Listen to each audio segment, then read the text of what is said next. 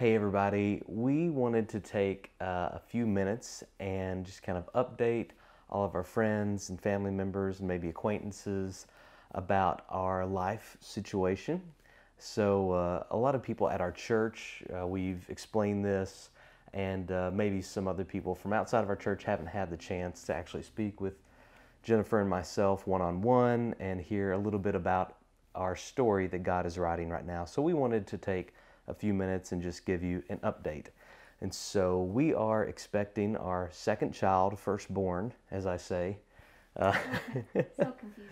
yes, but uh, we're expecting our uh, first biological child in December, and we're very excited about that. Of course, uh, those who know and love our family know that we already have a child, Allie. We adopted her uh, two years ago. She just turned two yesterday, and we had a great birthday weekend. It was pretty incredible. Um, but in light of the new baby on the way, and in light of being parents for a couple of years now, uh, we uh, just felt like we needed to make some changes in our schedule and in our lives and in the dynamic of work, life, and, and all of that. And so um, recently, at the end of August in 2017, I stepped down from staff. Thank you. I stepped down from staff at Community Fellowship Baptist Church. And of course, uh, we had a great opportunity to speak with all of the people there at our church and explain this to them. Um, but it essentially just boils down to the reason I stepped down from staff was because of our family. Um, and Jennifer is actually going to be stepping down from staff in November as well, the weekend before Thanksgiving. Mm-hmm. Yes. And so we, want to make sure that, that, nobody thinks that we're stepping down from staff because of anything that's wrong with the church. It's kind of the opposite of that. We are so confident in the direction of that our leadership team is taking the church right now. We're so confident in Pastor Brad's leadership. He's been there for almost a year now. Uh, we're confident in that enough that we can say, hey, our leadership isn't critical right now to the success and the health of our ministry. And so we're taking this opportunity in light of our family dynamic changing to, uh, kind of take a seat back. And Jen, why don't you speak a little bit more into like the family dynamic there and why we feel like it's it's a good season for us to to focus on our family and rest for ministry. Sure, um, like what I shared at church a little bit of mm-hmm. that. yeah, um, we, if you have ever worked in ministry and while having little ones, um, you know that Sunday mornings are are difficult, especially if you and your spouse are, are both working or, or even volunteering in ministry um, and you're there all morning long, it's just, I mean, first of all, it's a long morning for you, but it's especially long for your kids when they're little. And so, um, and Allie has done great and, you know, great people take care of her at our church in the nursery and, and beyond. Um, but it's still a, a, just a long morning for her, and, and some days are we can tell more difficult than others. Yeah. Um, and so we've kind of taken note of that. And then, of course, come December, you know, we will have a newborn and a two-year-old, and and even before we found out the news that we were expecting, we, we were kind of already feeling nudged in this direction of of um, just making some changes in our life. And so it wasn't just the news of having a second child. It, it, it was already something kind of stirring in our hearts, and um, but uh, but yeah, that we feel like this new season where we are not on staff will allow for us to to really experience Sunday morning more as a family together experience because right now we we don't really get to arrive to church in the same car. Like I get there a lot earlier, and then Luke brings Allie later, and sometimes I don't even really get to see her until later on in the morning. And um, and so you know we look forward to a time where we can all worship together as a family, and where you know if Allie's sick or just having a rough day, we can just we can take her on home, or we you know have the option of staying home. And um, you know before we kind of um, it was hard. It was just more difficult to do that. And so, and then again, we're going to have another another one as well. So um, that's kind of where our hearts are, and and um, you know, it's not that you can't do ministry and have kids. That's not what we're saying.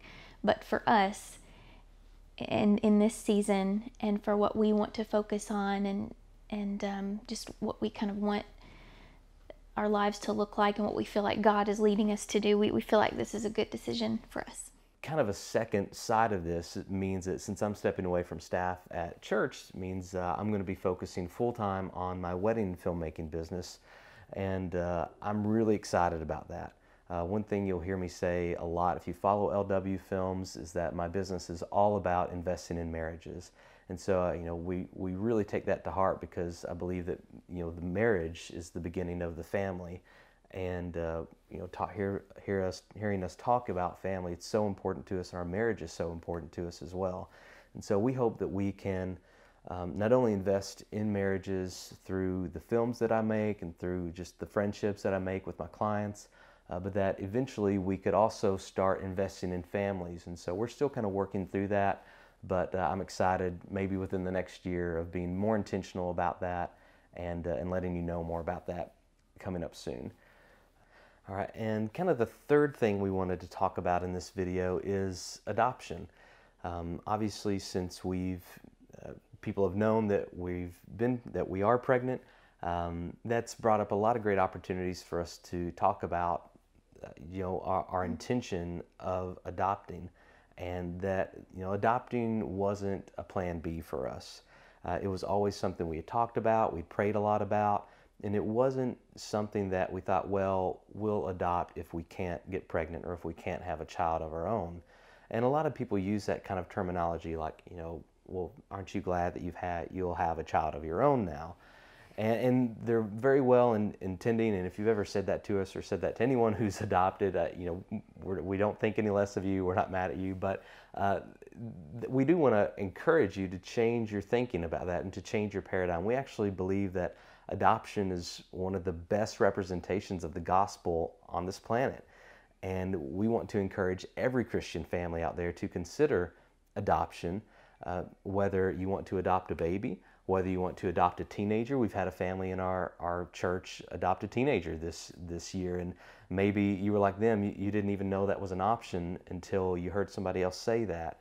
Uh, but adoption, no matter at what age, no matter what dynamic, it's a beautiful representation of the gospel, uh, of choosing somebody to love that you have no obligation to love, of choosing to invite somebody into your family that, that you are under no obligation to do, that has no right to your family um, but you're bestowing that love and you're bestowing those rights onto them just because you choose to. And so uh, Allie, of course, is is just as much a part of our family as this baby is going to be, and we are going to, you know, of course, you, you say you, love all your children differently, um, but of course, we're going to love Allie just as much, um, it, as much as, as, this child. And so uh, we wanted to take a, a few minutes and talk about that, and Jen probably has some thoughts on that too.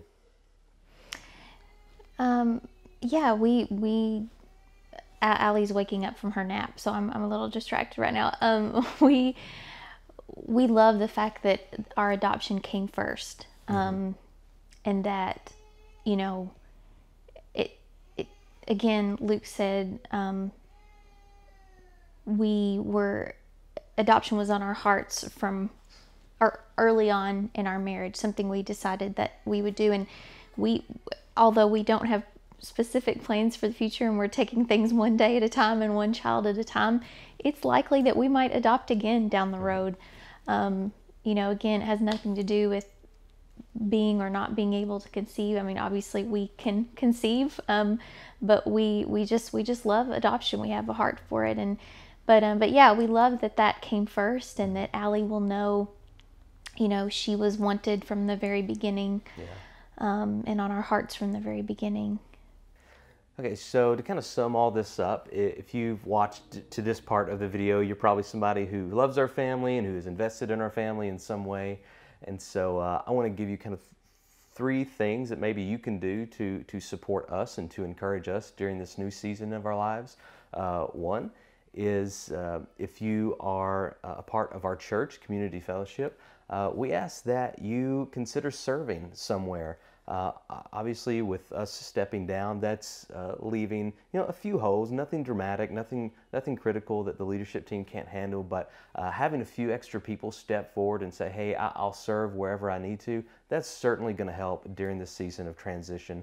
And so we encourage you to do that. Um, if you know somebody who is getting married or is thinking about getting married or engaged, uh, I would be honored if you would just you know put a link to my website on their Facebook page or, or tag me in a post to them. Uh, just you know just a real soft sell. I would really appreciate that, and they'll get a great wedding film out of it as well.